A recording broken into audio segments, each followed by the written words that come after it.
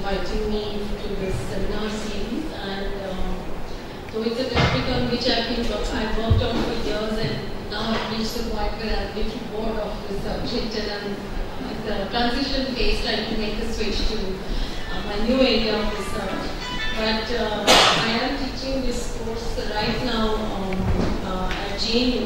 So what I thought I would do is, and I'm assuming that most of you are social scientists, and I am not. I am uh, trained as a filmmaker and then have a degree in cinema studies, um, academic degree in cinema studies, which in itself is a newish kind of discipline, just for 50 years old, and in India it's even more recent, about 15 to 20 years old in India. And in JNU we set up our department in 2006, so I have my degree not from this country because we didn't have a PhD program in the field. I just want to give you a slight introduction to this because initially when cinema studies was uh, set up in different parts of the world and primarily in the United Kingdom and in the US, they came out of literature departments. Most of the scholars in the first phase in the early period came out of literature departments. And what happened at that time was that because they came out of literature departments, and you will see that even now, lots of people in literature are registered in film, but that became the problem for the discipline because cinema was seen as an extension of narrative, an extension of a storytelling form, and it was seen as an extension of a literary form. So what happens in the discipline is in the last 20 years, a revisiting the a revisiting the history of cinema, its entry in the world throughout the 20th century, late 19th century and 20th century, and rethinking the way in which cinema, that cinema's relationship is primarily to space, to technology, to architecture. And that narrative is only one element in this chain. That's why it is not something that should have come out of literature, but should have emerged as a, emerged through other disciplines where people are, you know, in India, for instance, very, very little has been done on the history of technology and things like that because everyone was so obsessed about certain kinds of issues to do with the nation that all these everyday experiences are not things that one has had that kind of engagement with. So it's in the last 20 years that the shift has happened in my discipline, and the first round of connections were made uh, with the, like for instance, in film, you can see many types of perspectives. Okay? You can have a high angle view of the world, you can have an aerial shot that came with uh, photography. When photography came, the camera could go into different places. But what cinema did was that it changed uh, photographic perception and made it kinetic. So it introduces movement. As soon as you have movement, you can't hear me. As soon as yeah, me? Uh, as soon as you have um, cinema, if there is movement, and once you have movement, it is kinetic perception. So, in, in um, some of these very important scholars who developed this relationship between architecture, space, and cinema said the first relationship of cinema is to the railways, it is to the elevator, it is to the high-rise building, and it is to the city, modernity, and the urban experience and the transformations uh, that happened at the turn of the century. Now, what happens is that in the early period, what if you look back at, and a lot of the scholarship came out of an interest in the early period of cinema when cinema makes its entry in the world. And there's this um, uh, very well-known film scholar Tom Gunning who says that it was display rather than storytelling that drove early cinema. So what does display mean? That you show things, you, you capture space, and you produce a different kind of map. It's a different kind of map, which is also about emotions. So um, the, the term that we use, it's a new atlas of emotion. So if you think in terms of space, if you think in terms of a spatial aspect of think in terms of a spatial narrative in cinema, then film becomes an archive of 20th century modernity and it becomes an archive of 20th century everyday experiences. And so the great interest in the early period was to look at city spaces and try to capture city spaces. I wanted to actually explain this relationship to you with a clip from a 1929 film made by Russian filmmaker Dziga Vertov. It's called Man with the Movie Camera. And he, uh, what the film does is that he's a filmmaker who um, recognized that the movie camera could see better than the human eye. And it's one day in the life of Moscow. He shoots one day in the life of Moscow. But what he does is he introduces the filmmaking process itself. So it begins with shooting, then it begins, it moves into editing, and then exhibition. And throughout this process, you actually see the rhythms of the city unfold. And what you'll, when I show you the clip, you will actually see how intricately he weaves this relationship between cinema and the city. Because film is about an experience in a dark room. Now it's changed. Of course, now you see things on DVDs and on the computer. But originally, it is about mobilizing distracted citizens of the city into a darkened theater and making them uh, concentrate on the cinematic experience, on what is unfolding on screen. So it, it recognizes a distracted audience. It, it, the distraction itself is seen as a new form of perception by film. So they try to organize film, the experience for you by mobilizing these distracted citizens. And in the film, in, in this clip that you will see, the rhythms move at a particular level and the film also moves at the same level. And I'll explain what happens towards the end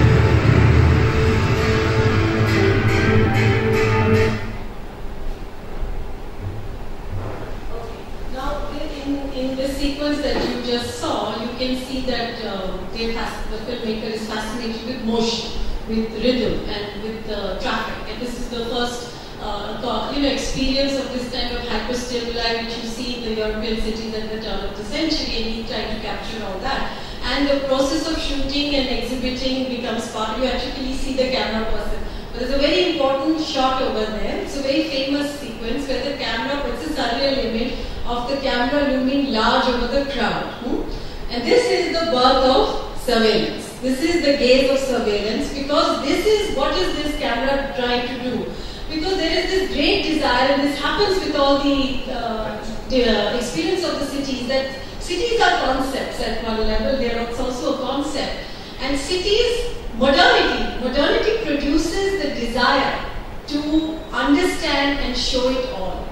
But cities are also opaque. They cannot, you cannot access everything in a city. And it's this disconnect between the two that produces the experience of the uncanny.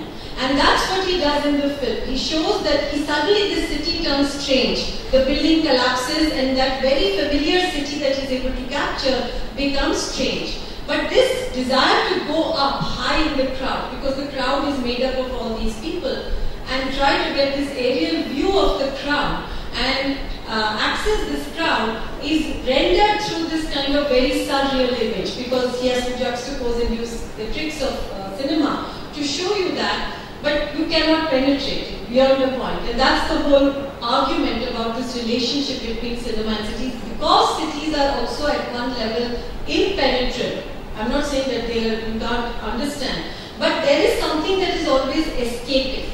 And it is that escape, that which escapes. So sociology can try to do certain things, but they will not be able to get everything.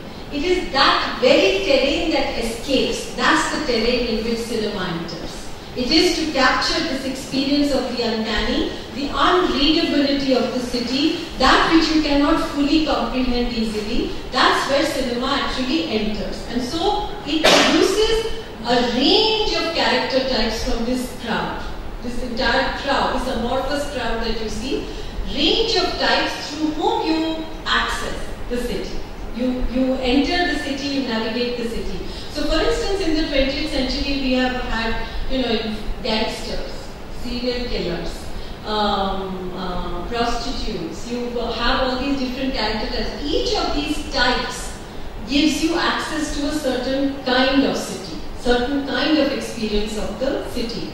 And I want to, before sh- move to India and show you a few clips where this experience is actually mobilized perhaps through clear films that you all know of um, uh, or would have seen, I want to show you one more clip from uh, Hollywood film Steven Spielberg's Minority Report because you will see from this sequence that this is something that only cinema can produce. You know, it's an apartment block in which uh, it's a uh, science fiction film set in uh, where uh, Tom Cruise uh, is able to see some things in the future. This is a moment in the film that in an apartment block, the camera is trying to access several apartments at the same time. Now you can never do that. And there are walls. You can't move through walls. But what is the camera able to do uh, in this sequence? You'll be able to see as the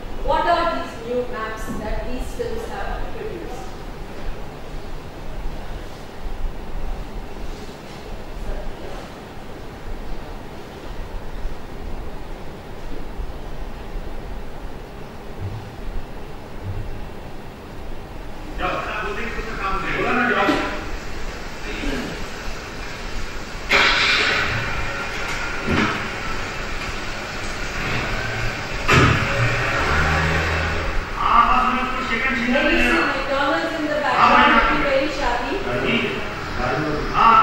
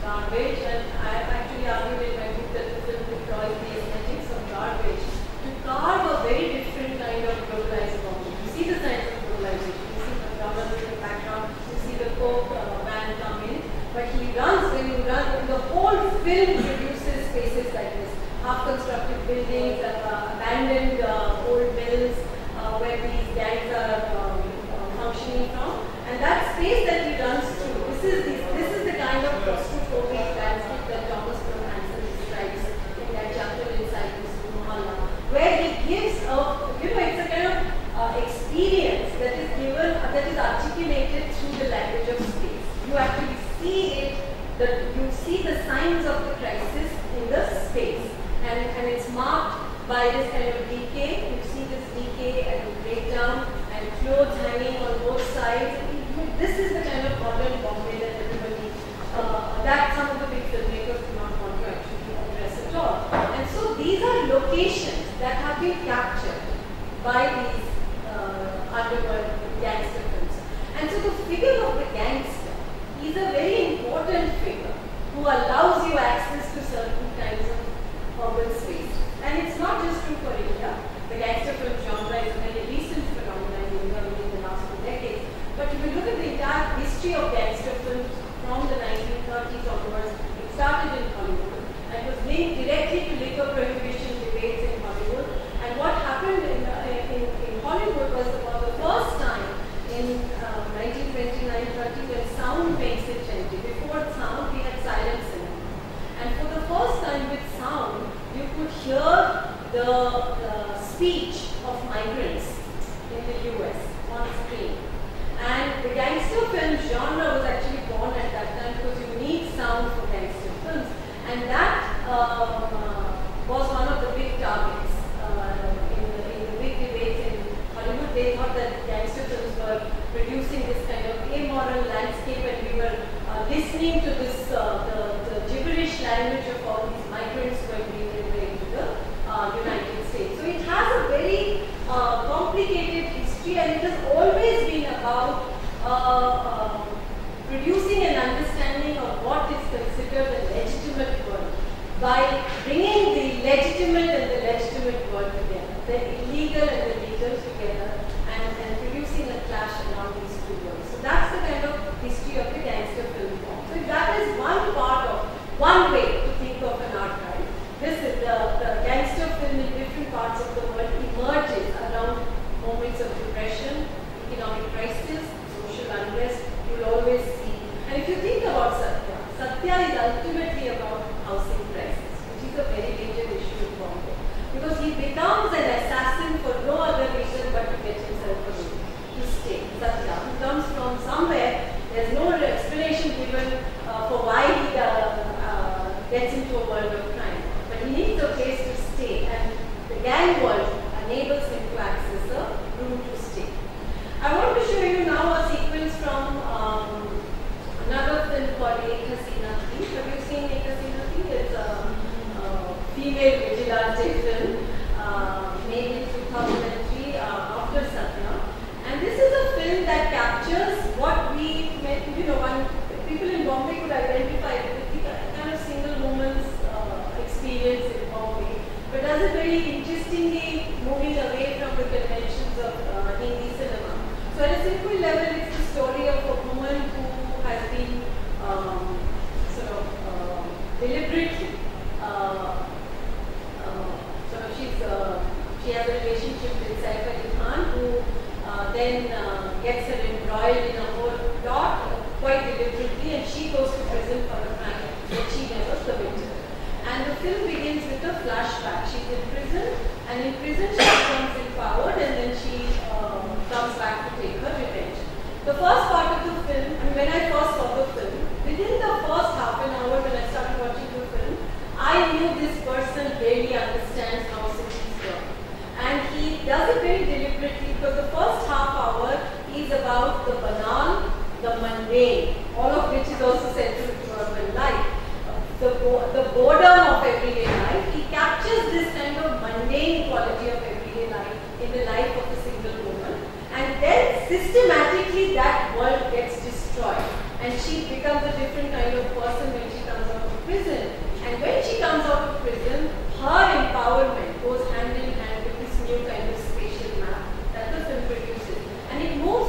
Bombay and Delhi, two cities uh, in this moment of globalization. It, it captured the experience and one of the questions perhaps in the discussion we could think about is why is Delhi becoming such an important space in Hindi cinema uh, because it was never this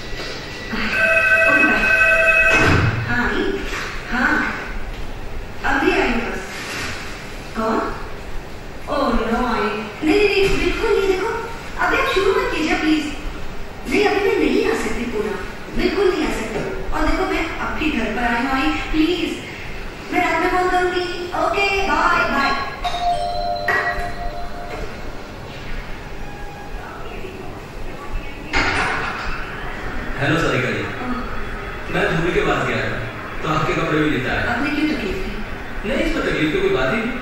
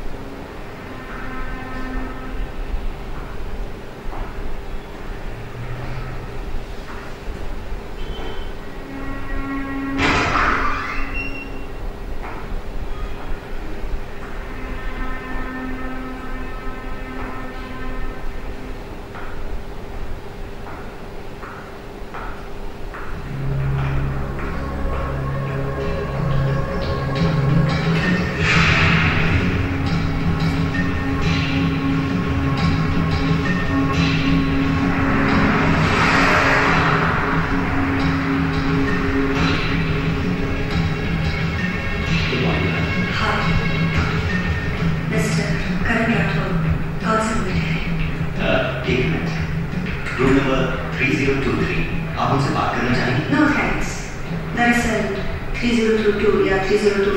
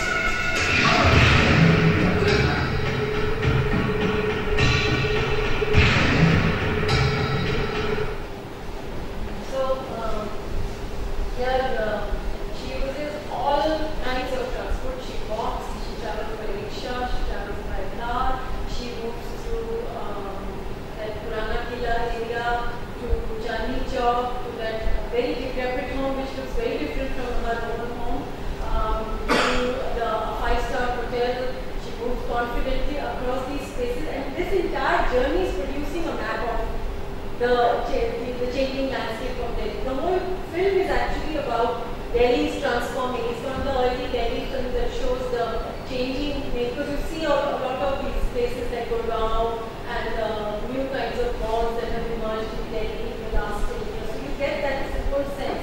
But her journey, her internal journey is being, uh, is uh, being produced through this kind of spatial map. And this is what we refer to as the atlas of the, this emotion, this geography of emotion is actually being created through this kind of spatial narrative, spatial transformation. So if the gangster film, Satya, is a particular kind of map, this is about interiority. It's about inner crisis which is displaced onto this uh, urban transformation. And I'm going to show you one last clip and, and then we can have a discussion. This is a, uh, because you've seen these two films, which both films I actually like and I think what they managed to do some is quite interesting. They enter sociological category of the single woman's uh, life in Bombay and, do, and, and actually does something quite interesting uh, with it and producing a very inventive archive of the city. Uh, I want to show you a film which I don't like now, a clip from a film which I don't like, very well made film. But these are the more disturbing things that are emerging now. And this is the film that was uh, uh, released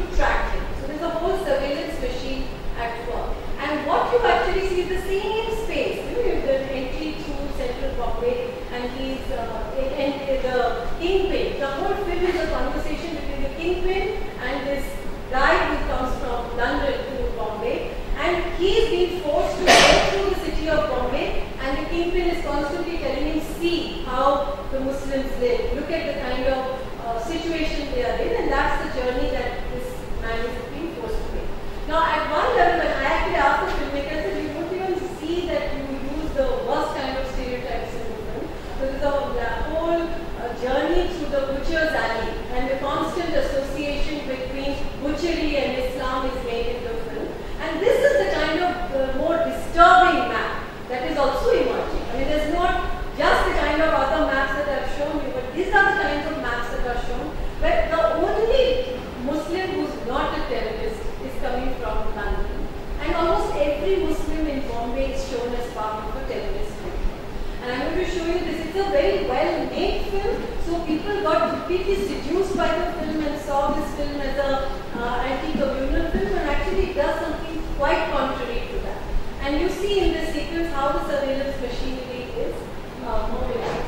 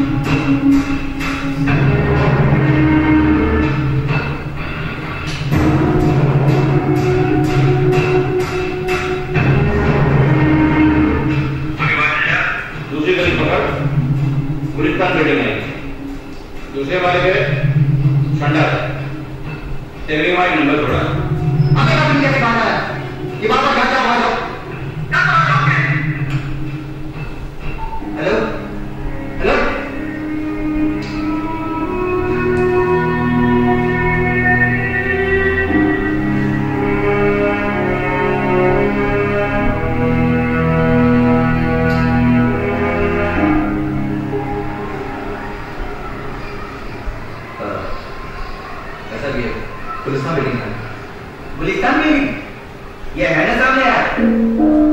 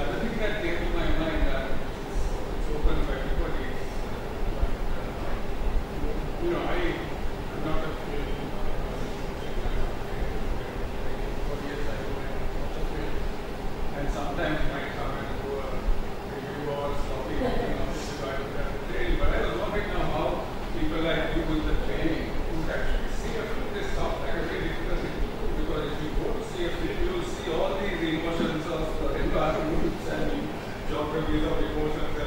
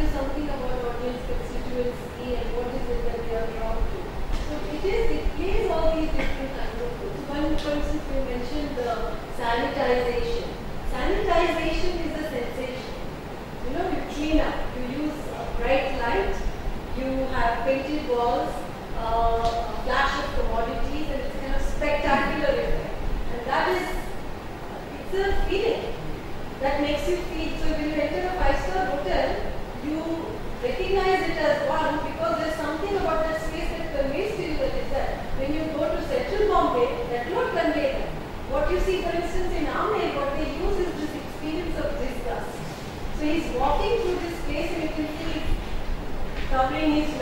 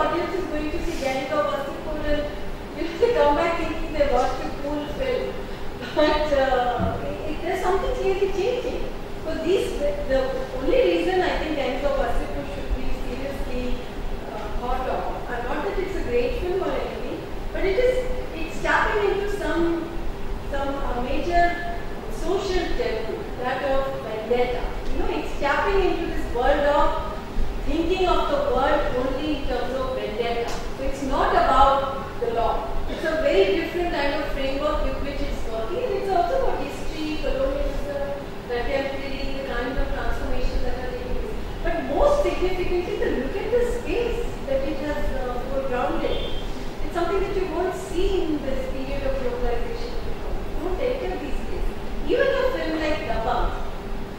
It was such a big hit. Even a film like Dabangg suddenly brought those small town to the forefront. That space suddenly emerged. But these are the big stars. Dabangg is a big star film where the gangs of Wasseypur is not. So you can't make comparisons with the star films. None of these filmmakers are even trying to remotely compete. It's like sociologists trying to be a journalist uh, of the uh, Time magazine or something. You know, you, these academics are certain And if the, the, the, the debate cannot be about reaching the scale of the uh, of a Shah Rukh Khan release, which is a 100 crore film, or a Salman Khan release, which is straight upon 100 crores in the first week. That's a different kind of scale altogether. But what I'm saying is that these new filmmakers, actually, the more recent past, there is a kind of urban imagination at work in their filmmaking practice. More than Karan Johar, you will and it's something I mentioned in the book. Um, if you remember Kabhi Khushi Kabhie Gham, there's a whole Chandni Chowk sequence. You compare that Chandni Chowk to Ek Hasina Thi Chandni Chowk. That Chandni Chowk was created in a set in Bombay. It was completely sanitized. The art director said that he fainted when he came to Chandni Chowk. He couldn't handle the dirt, the filth, the crowd. So he went back to Bombay and created a set which was so clean and that it ceased to look like Chandni Chowk at all. So it's an effect. Ultimately, it is that effect. You don't realize how much we are drawn to the effect of cinema.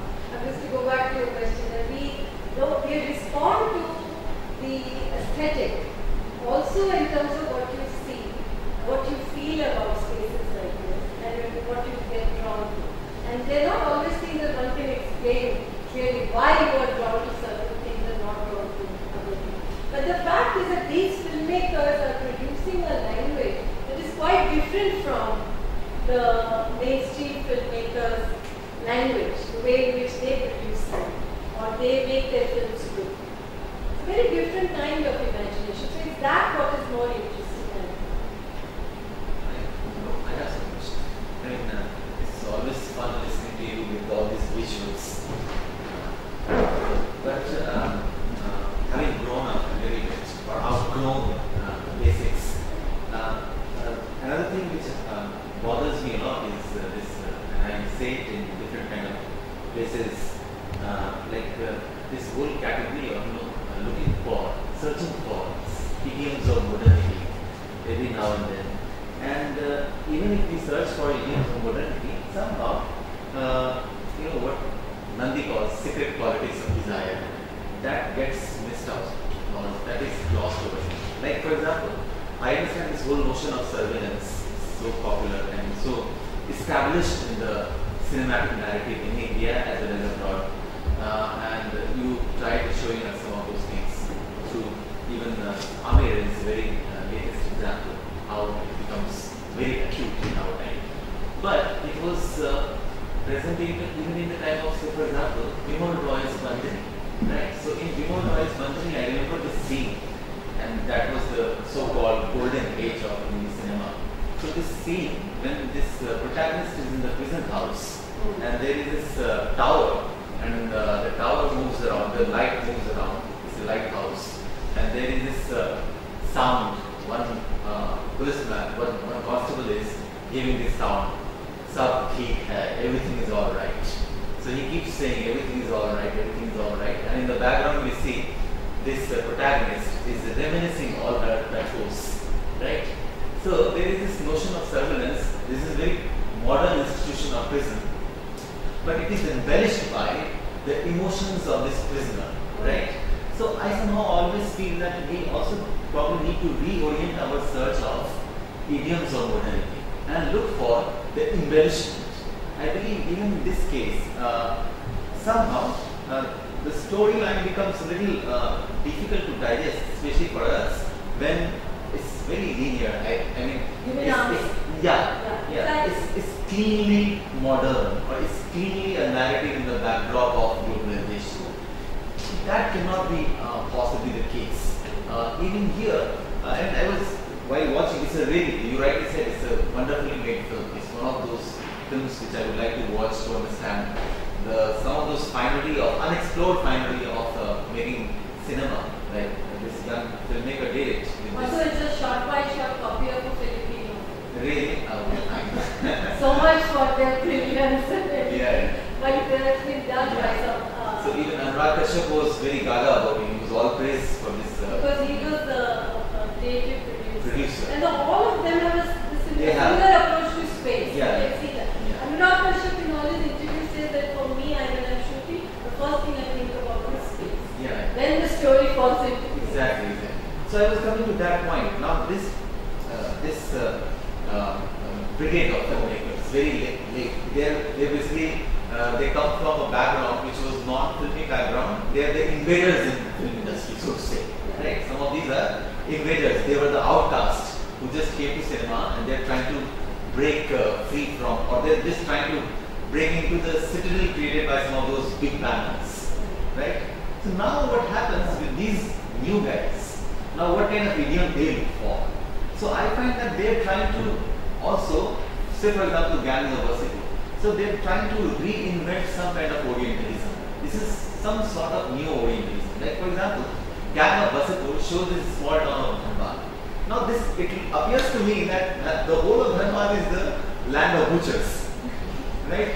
There is Yeah, no and this is something that they have to think about. It's so easily make the association between Yeah. butchery and Islam. All of them are good. Butchery, Islam, coal mines, and all the smugglers. Everybody is bad in the land of uh. I mean, it's small town. It used to be a small town. I do not find a co- no, uh, uh, uh, an ordinary parent. I do not find an ordinary child. I do not find anybody who is all right seeking for or enjoying or relishing innocence or just trying to protect innocence. Everybody is so this becomes slightly, it becomes like, you know, what uh, Gandhi at one point of time said about Kathleen News, uh, this work, train inspector's uh, report. So uh, some of these new filmmakers who are invaders, we have high hopes from them, but they're, instead of, you know, uh, looking for those embellishment uh, and, and, and unclear narratives, they are again jumping to another formula. This is another formula. Like Anurag Kashyap would time and again tell us in his interviews, in his belligerent interviews, that no, I'm not calling any formula. But I can't say clear that uh, formula. I mean, this is new Orientalism. No, I think um, I actually don't have any high hopes on this new breed because they are ending up doing exactly, they're falling into a similar track again and they're not able to come out. So it's all about these animalistic men on screens, ranting and screaming and a lot of violence. That has become the new form that uh, works. But if you leave that out, if you compare the kind of spatial clashes that we are seeing between, you know, you watch TV and watch the promos on day, television promos, you see all these different kinds of spaces unfold. So if you think in terms of, you know, spatial conflicts and configurations, then, you know, it's up to us how, I'm saying, look at these as archival documents. Then what you do with it is something else. Don't expect the film to actually do that for you because filmmakers are not going to do that. And they're not doing it. There are very few mean, if you watch Kahani, you've seen Kahani, the film set in Calcutta. Now look at the kind of uh, Calcutta landscape that the film actually produces. It's really about Calcutta. And the filmmaker has also probably the more, more it's the better made of all these uh, films. But even there, if you think in terms of the story, there are big gaps and loopholes and problems in the film. But here it doesn't matter. It doesn't matter. See, I've been a filmmaker also uh, before I became an academic, and I have ceased to expect for look for perfection in cinema. It does not exist. Film is a multimedia uh, form. Uh, it's not like painting. It's not like writing a book uh, on your own in your uh, study or painting with your own brush. It's not the work of an artist. It's the work of hundreds of people in which big money is involved. And most of your decisions are governed by the economics of production because so much money rides on a film. That's what I was saying at the beginning, that film is not literature. So when you think about film, all these choices are also made because of the economics of production. And it's actually 30% creativity and 70% your ability to hold on as a manager who can raise money, do PR, do publicity, do all those things. If you don't have those uh, um, abilities, you should not try to be a filmmaker. And this is the reality. Unfortunately, unfortunately, this film is an industry. And not even the greatest of art filmmakers can make it without money. They need money. Unless you're an avant-garde filmmaker who wants to make it just for his or her companion at home, you make the film to be released. It cannot get a release. It cannot be shown without money involved and transactions of money. So you want us to look at the kind of pressures involved in the making of a film. And so when we watch films, we look at the, you know, like for instance, it, but I love to watch choreographed action sequences on screen. The James Bond time, because I can see there is a technology which comes from puppet theatre, the ability to use string and wire and the kind of producing movement. For me, that's the kind of answer. Very stupid films I've got to see, only to see the action sequences in terms of how it's done. So, for instance, when Crouching Tiger uh, was released, Hidden Dragon was released, I mean, I wasn't really interested in the story. I was just completely enthralled by the effects of how it was actually choreographing this thing. But this is just my own thing. It doesn't have to be a law. What I'm saying is that film is and look, without sound recorders, without camera persons, without art directors, without costume designers, without millions of people involved, film cannot become film. So film is actually an event. It's not just an object that circulates in the theatre, it's an event. And many people are involved in the construction of the creation of that event. And the minute you recognize film as that, the whole relationship to cinema will change. You know, it won't, it will be looking at moments, it will be looking at fragments, it will be looking at the whole narrative uh, won't hold in the same way. Which is not to say that there are no films uh, like that. But I'm saying that it is the, it's also fraying now. The, all, the digital technology explosion has actually foregrounded the fragility of cinema. You know, it's now become so fragile, a little bit of the film will be circulating on the internet, that's how people will see. Most people have a relationship to cinema because they download ringtones. They won't ever go to see the film, but they download ringtones. So they have a relationship to cinema via the cell phone or looking at clips on, on the cell phone. So it's the relationship is also scattered, very much so. The experience has. And these are some of the main, main debates in the field going on. We are talking about the end of celluloid, the death of cinema, hope. Uh, know, lots of things are being said about the way in which cinema has changed. I think it is really fascinating. I must confess, the what's been in. I know.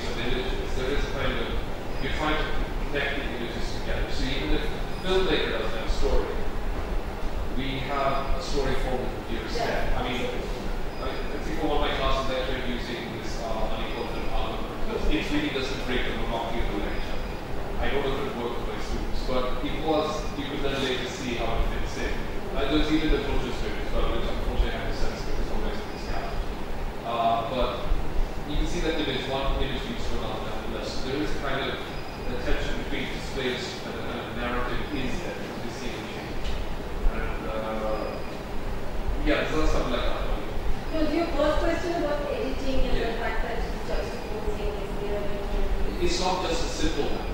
No, it's no, very it's complex And map. The map can be formed into pieces and put like together like a jigsaw puzzle. Yeah, so but maps are also layers, also you know, they, they, how you draw the India-Pakistan border, what you will put there, what color flag will uh, fly there. You can produce, you know, the, uh, the communists can produce a red map and put red flags everywhere. And so, so maps are also there, but what happens in Dziga Vertov's film, what, is, what makes it interesting is that he foregrounds the act of construction in the film itself by showing uh, the camera person run around the city, shoot, then they show what they are doing at the editing table and walking through that, and then they show people watching the film. So the entire institution of cinema is mapped onto the rhythms of the city. And the two unfold together uh, in the film. So he's reflexive, he's drawing attention to the craft of filmmaking in the film. And absolutely, he does this kind of layering uh, very interesting. He lets you you know, really get into the rhythm. It's a kind of poetic film about the city. And then he suddenly brings makes this building collapse uh, in that shot. This is close to the end of the film.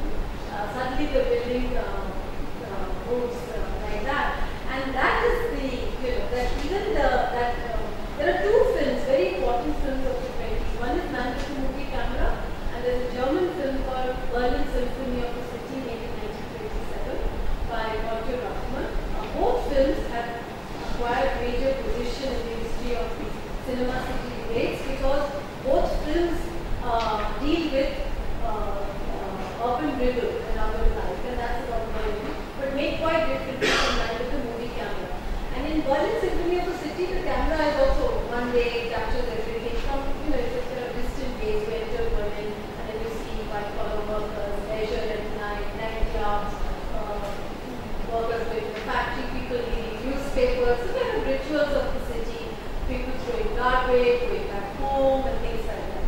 But there's one shot in the film which is not documentary shot, and no re- explanation has been provided for why that shot exists in the film, which shows a woman, close up of a face of a woman, because throughout the film you look at the city from the camera's point of view. That's the only moment where you see the woman's face close up, and it's uh, she it's the, her face just before she commits suicide. You should you see her hanging from a railing, and then she jumps into the water, and you see her face, uh, the agony on her face just before she dies, and, then- and, and then she dies. And she's just one in the crowd. No explanation.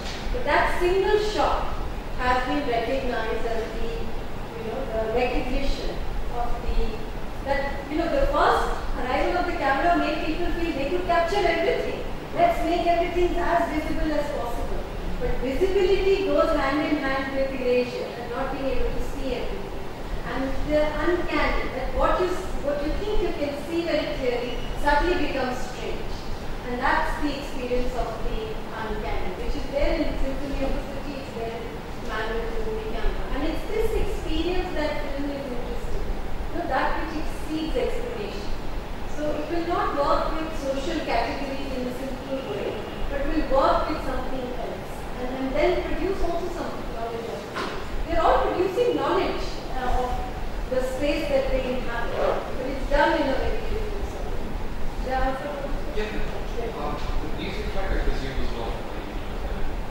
It was the orchestra. It was the orchestra music, but in that, at that time they didn't have a uh, soundtrack. So it was, uh, you know, during the silent period there was an orchestra thing and their uh, composers, but they, the digitized later versions of the release of the film, they went back to music notes and they redid the same musical score. So it may not be absolutely exact, but it is very similar. But you can see from the editing that it goes with it. It, it goes with it, but it also sounded a little too clean. It sounded like a like an old record recording. Yeah. No, these are the new releases. These are the no, new cleaned up